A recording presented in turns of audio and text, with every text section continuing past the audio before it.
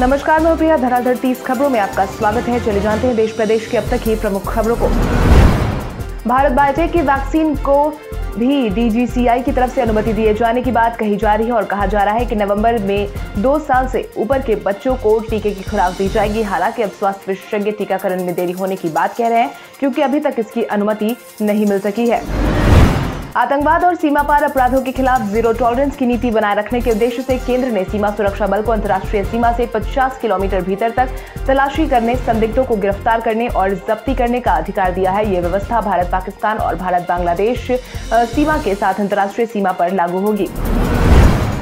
किसी सड़क दुर्घटना में ऐसे व्यक्ति की कोई गलती साबित होनी चाहिए, जिसे जिसके खिलाफ आंशिक लापरवाही का आरोप लगाया गया है, ये बात सुप्रीम कोर्ट ने कही है। न्यायाधीश हेमंत गुप्ता और बी सुब्रमण्यम की पीठ कर्नाटक उच्च न्यायालय के निष्कर्षों के खिलाफ एक महिला और उसके नाबालिग बच्चों की तरफ़ से दाखिल याचिका पर सुनवाई कर रही थी। उक्त महिला के पति की कार चलाते वक्त लॉरी से टकराकर जान चली गई थी। मंगलवार को पूरे देश में अट्ठाईसवां अंतर्राष्ट्रीय मानवाधिकार आयोग स्थापना दिवस मनाया गया। इस मौके पर दिल्ली में सूफी इस्लामिक बोर्ड और अफ़गानिस्तान के नागरिकों ने बसंत कुंज स्थित यूएनएचआरसी के दफ्तर के बाहर विरोध प्रदर्शन किया। इस विरोध प्रदर्शन के आयोजकों ने काबुल समेत पूरे देश में अफगान महिलाओं के ऊपर हो रहे अत्याचारों को बंद कराने की मांग करते हुए विरोध प्रदर्शन किया। इंडियन प्रीमियर लीग 2021 के सीज़न का दूसरा क्वालिफायर मुकाबला, दिल्ली कैपिटल्स और कोलकाता नाइट राइडर्स के बीच में शारजहां के मैदान में खेला गया, जिसमें केकेआर की टीम ने तीन विकेट से जीत हासिल करते हुए सीज़न के फाइनल में अपनी जगह को पक्का कर लिया है। लेकिन इस मैच के बाद कोलकाता टीम के विकेटकीपर बल्लेबाज दिनेश कार्तिक को उनके बर्ताव के लिए फटकार भी लगाई गई। आपको बता दें, दिनेश कार्तिक बिना खाता खोले पवेलियन लौट गए थे। भारत अगले सप्ताह 100 करोड़ से ज़्यादा वैक्सीन खुराक देने के एक और मील के पत्थर तक पहुँचने के लिए तैयार है। यहाँ तक कि सरकार की योजनाएँ गैर सरकारी संगठनों और निजी क्षेत्र को शामिल करने और जागरूकता फैलाने के माध्यम से वैक्सीन हिचकिचाहट को समाप्त करने के लिए है। स्वास्थ्य मंत्री मनसुख मंडाविया ने कहा है कि देश अक्टूबर में 28 करोड़ से ज़्यादा खुराक का उत्पादन करेगा, क्योंकि यह सप्लाई में तेज़ी ला रहा है। वैश्विक बाजारों में सकारात्मक रुख के बीच इन्फोसिस एच बैंक और रिलायंस इंडस्ट्री जैसे बड़े शेयरों में तेज़ी से चलते प्रमुख शेयर सूचकांक सेंसेक्स बृहस्पतिवार को शुरुआती कारोबार के दौरान 350 अंक से अधिक बढ़कर पहली बार इकसठ हज़ार के स्तर को पार कर गया। इस दौरान 30 शेयरों पर आधारित सूचकांक इकसठ हज़ार एक सौ उनसठ दशमलव चार आठ के रिकॉर्ड स्तर तक पहुँचने के बाद खबर लिखे जाने तक तीन सौ छप्पन दशमलव सात तीन अंक या शून्य दशमलव पाँच नौ फ़ीसदी की तेज़ी के साथ इकसठ हज़ार तिरानवे दशमलव सात आठ पर कारोबार रहा था। राजस्थान में दो विधानसभा सीट वल्लभगढ़ और धरियावद में होने वाले उपचुनाव को लेकर राजनीतिक बयानबाजी चरम पर है। अब उपचुनाव को लेकर प्रदेश के खेल मंत्री ने बड़े बोल, बोलकर विपक्ष पर निशाना साधा है। दरअसल प्रदेश सरकार में खेल मंत्री अशोक चांद्रा ने अपने जन्मदिन के अवसर पर उपचुनाव को लेकर बयान देकर भारतीय जनता पार्टी पर निशाना साधा है, जिसके तहत उन्होंने कहा कि अगर एक भी सीट भाजपा जीतती है तो वो राजनीति छोड़ देंगे। केंद्रीय गृह मंत्रालय ने सीमा सुरक्षा बल के अधिकार क्षेत्र में वृद्धि कर दी है। अब बीएसएफ को अंतर्राष्ट्रीय सीमा से 50 किलोमीटर भीतर तक तलाशी, गिरफ्तारी करने और जब्ती करने की शक्तियाँ दी गई हैं। ये व्यवस्था भारत, पाकिस्तान और भारत, बांग्लादेश सीमा के साथ अंतर्राष्ट्रीय सीमा पर लागू होगी। इससे बीएसएफ को दस राज्यों और दो केंद्र शासित प्रदेशों में राष्ट्रीय सुरक्षा के खिलाफ होने वाली अवैध गतिविधियों को रोकने के लिए कार्रवाई करने की अनुमति मिल गई है। रीजनल प्लान 2041 को मंजूर करने के साथ ही 100 किलोमीटर से बाहर के इलाके एनसीआर का मुख्य हिस्सा नहीं रहेंगे, यानी मौजूदा एनसीआर से 50 से 75 तक के इलाके इसके दायरे से बाहर हो सकते हैं। ड्राफ्ट योजना एनसीआर से 100 किलोमीटर रेडियस से बाहर के क्षेत्रों में लीनियर कॉरिडोर स्थापित करने और एक्सप्रेसवे, नेशनल हाईवे और रीजनल रैपिड ट्रांजिट सिस्टम से एक किलोमीटर तक के इलाके के विकास का रास्ता साफ़ करता है। महाराष्ट्र सरकार में मंत्री और एनसीपी प्रवक्ता नवाब मलिक की सुरक्षा बढ़ा दी गई है। उनकी सुरक्षा बाई श्रेणी से बढ़ाकर बाई प्लस कर दी गई है। अब उनकी सुरक्षा में चार सिपाही रहेंगे। इससे पहले उनके साथ एक बॉडीगार्ड रहता था। बता दें कि नवाब मलिक ने एनसीबी की ड्रग्स पार्टी की जाँच में अनियमितता को लेकर बड़े बयान दिए हैं, जिसके बाद से उन्हें फ़ोन पर धमकियाँ दी जा रही हैं। मध्य प्रदेश उपचुनाव में प्रत्याशियों के नाम वापसी के लिए 13 अक्टूबर आखिरी तारीख थी। अब प्रत्याशियों के नाम पर अंतिम मुहर लग चुकी है। इसके बाद उपचुनाव सीट्स पर नज़र डाले तो ये स्थिति बन गई है कि मध्य प्रदेश में एक लोकसभा और तीन विधानसभा उपचुनाव के लिए चुनाव होने हैं। इन चारों सीटों पर कुल इकसठ उम्मीदवार मैदान में थे, जिनमें से ग्यारह प्रत्याशियों ने अपना नामांकन वापस ले लिया था। केंद्रीय मंत्री राव इंद्रजीत सिंह ने प्रधानमंत्री नरेंद्र मोदी की लोकप्रियता और भविष्य में उनके नाम से भाजपा की जीत पर आशंका जताई है। राव इंद्रजीत सिंह ने हाल ही में पार्टी की आंतरिक बैठक में कहा कि भारतीय जनता पार्टी को तीसरी बार हरियाणा में जीत के लिए संघर्ष करना पड़ेगा। पार्टी सिर्फ़ पीएम मोदी के नाम पर जीत के लिए निर्भर नहीं रह सकती। केंद्र सरकार द्वारा पंजाब में अंतर्राष्ट्रीय सीमा से 50 किलोमीटर के दायरे में तलाशी लेने और गिरफ्तारी करने का अधिकार देने पर कांग्रेस ने सवाल उठाया है। कांग्रेस प्रवक्ता रणदीप सुरजेवाला ने ट्वीट कर कहा कि पच्चीस हज़ार किलोग्राम हेरोइन ड्रग्स गुजरात के अडानी पोर्ट के माध्यम से नौ छह दो को आई और तीन हज़ार किलोग्राम हेरोइन ड्रग्स गुजरात के अडानी पोर्ट से तेरह नौ दो को पकड़ी गई है। पीलीभीत से सांसद वरुण गांधी ने आज पूर्व प्रधानमंत्री अटल बिहारी वाजपेयी का एक पुराना वीडियो ट्वीट करते हुए लिखा कि बड़े दिल वाले नेता के समझदार शब्द। वरुण गांधी ने जो वीडियो ट्वीट किया, उसमें पूर्व प्रधानमंत्री वाजपेयी उस समय के किसान आंदोलन के विषय में भाषण देते दिखाई दे रहे हैं। हाल ही में वरुण गांधी और उनकी माँ सांसद मेनका गांधी को भाजपा ने राष्ट्रीय कार्यकारिणी से हटा दिया था। पाकिस्तान के कप्तान बाबर आज़म ने आगामी आईसीसी टी ट्वेंटी विश्व कप 2021 में भारत के खिलाफ ब्लॉकबस्टर मैच से पहले आत्मविश्वास दिखाया है। भारत दुबई इंटरनेशनल में अपने शुरुआती मैच में पाकिस्तान से 24 अक्टूबर को भिड़ेगा।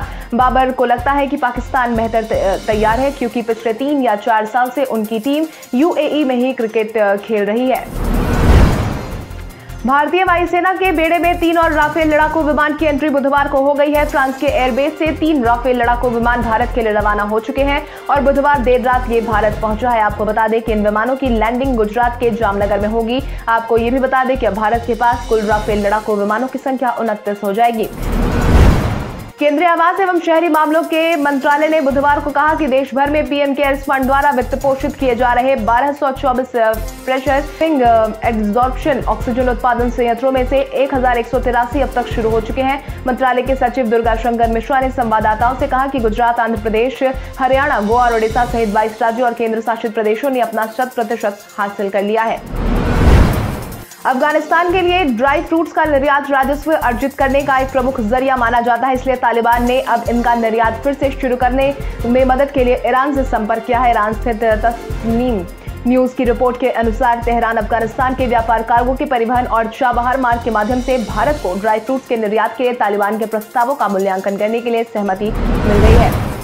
विश्व बैंक की एक रिपोर्ट में कहा गया है कि पड़ोसी देश पाकिस्तान उन शीर्ष दस कर्जदार देशों में शामिल हो गया है, जिसके पास सबसे ज़्यादा बाहरी कर्ज है। रिपोर्ट के मुताबिक वो कोविड 19 महामारी के बाद ऋण सेवा निलंबन पहल का पात्र बन गया है। इस वजह से उसे अब विदेशी कर्ज हासिल करने में मुश्किल आ सकती है।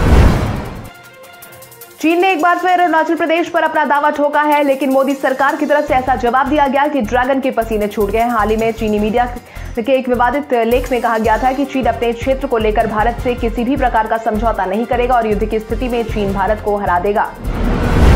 राजस्थान की अशोक गहलोत सरकार ने देर रात अचानक 18 आईएएस और उनचालीस आईपीएस अफसरों का ट्रांसफ़र कर दिया है। सरकार ने उन अधिकारियों की लिस्ट जारी कर दी है, जिनके तबादले किए गए हैं। सरकार ने जिन अफसरों का ट्रांसफ़र किया है, उनमें से ज़्यादातर अफसर ऐसे थे जो किसी न किसी विवादों में घिरे हुए थे। जयपुर के एडिशनल कमिश्नर राहुल प्रकाश को भी हटाकर स्पेशल ऑपरेशन ग्रुप में लगा दिया गया है।